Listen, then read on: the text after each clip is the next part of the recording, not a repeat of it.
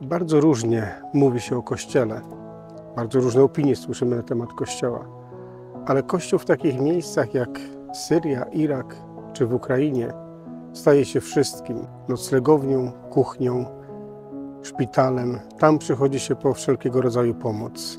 Ten Kościół, który ma tyle wymiarów i ten materialny, który my współtworzymy, i ten duchowy, który również staramy się umacniać. I to przesłanie Solidarności jakże ważne, bo ten Kościół, który my tworzymy, jest niezmiernie istotny. Kiedy spotkaliśmy kilka dni temu kardynała Pizzabale, mówił o tym, że dajcie nam odczuć ten wyraz Solidarności z nami, cierpiącymi chrześcijanami w Ziemi Świętej i tutaj w Waszym kraju, gdzie możecie cieszyć się jeszcze pokojem. Więc bądźmy tym Kościołem, który faktycznie pokazuje, że chociaż my cieszymy się tym spokojem i względnym dobrobytem, ciągle myślimy o tych, którzy tego pokoju wyczekują, o ten pokój się modlą. I niech ten Kościół będzie tą piękną, solidarną rodziną ludzi, którzy razem, wspólnie, jak uczył nas święty Paweł, tworzą to mistyczne ciało Chrystusa.